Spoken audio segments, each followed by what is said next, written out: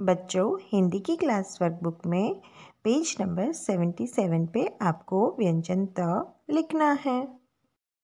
यह है व्यंजन त त से ताला। अब हम यह लाइन में व्यंजन त को ट्रेस करेंगे। सबसे पहले हम थर्ड ब्लू लाइन से ऊपर की ओर स्लैंटिंग लाइन करेंगे। फिर सेकेंड ब्लू लाइन के थोड़े ऊपर हम कव करेंगे और स्लिपिंग लाइन बनाएँगे।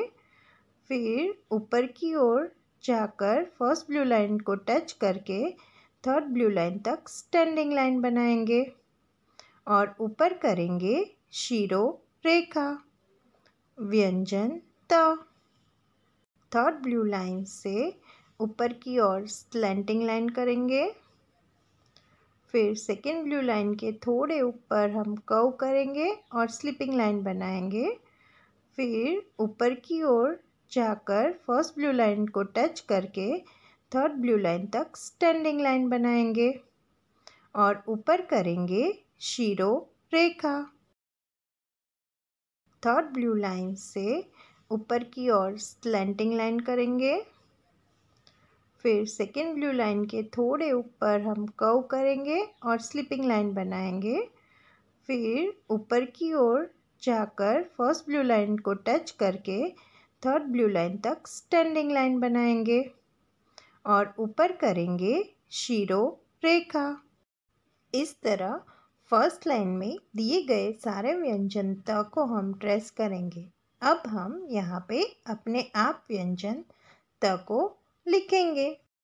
सबसे पहले हम थर्ड ब्लू लाइन से ऊपर की ओर स्लैंटिंग लाइन करेंगे। फिर सेकेंड ब्लू लाइन के थोड़े ऊपर हम कव करेंगे और स्लिपिंग लाइन बनाएँगे।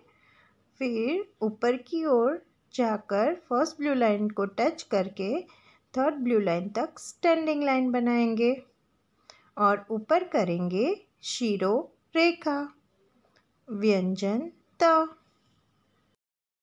थर्ड ब्लू लाइन से ऊपर की ओर स्लैंटिंग लाइन करेंगे। फिर सेकेंड ब्लू लाइन के थोड़े ऊपर हम कव करेंगे और स्लिपिंग लाइन बनाएँगे।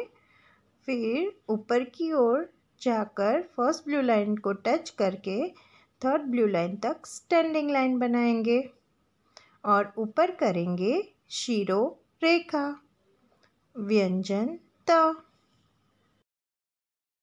थर्ड ब्लू लाइन से ऊपर की ओर स्लैंटिंग लाइन करेंगे। फिर सेकेंड ब्लू लाइन के थोड़े ऊपर हम कव करेंगे और स्लिपिंग लाइन बनाएँगे। फिर ऊपर की ओर जाकर फ़र्स्ट ब्लू लाइन को टच करके थर्ड ब्लू लाइन तक स्टैंडिंग लाइन बनाएँगे और ऊपर करेंगे शीरो रेखा, व्यंजन त। बच्चों इस तरह आपको व्यंजन त को आपकी क्लास वर्क बुक में लिखना है। ये क्या है बच्चों? ये है त से तरबूज। तो हम यहाँ पे लिखेंगे व्यंजन त। सबसे पहले हम करेंगे स्लैंटिंग लाइन नीचे की ओर से ऊपर की तरफ़। फिर कव करके स्लिपिंग लाइन बनाएँगे। और फिर ऊपर से नीचे की ओर स्टैंडिंग लाइन और ऊपर करेंगे शिरो रेखा, त से तरबूज।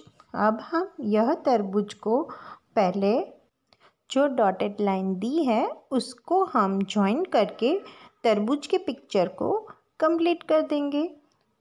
फिर हम उसके अंदर रंग भर देंगे।